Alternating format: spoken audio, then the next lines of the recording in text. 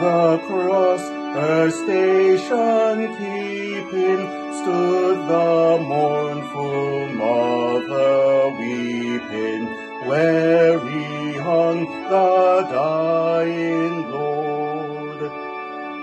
Oh, good Jesus, you let me borrow something of thy mother's sorrow, fount of love, Redeemer kind.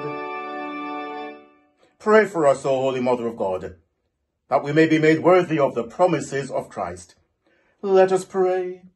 God of compassion, whose Son Jesus Christ, the child of Blessed Mary, shared the life of a home in Nazareth, and on the cross drew the whole human family to himself, strengthen us in our daily living, that in joy and in sorrow we may know the power of your presence to bind together and to heal, through Jesus Christ, your Son, our Lord, who is alive and reigns with you in the unity of the Holy Spirit, one God, now and forever.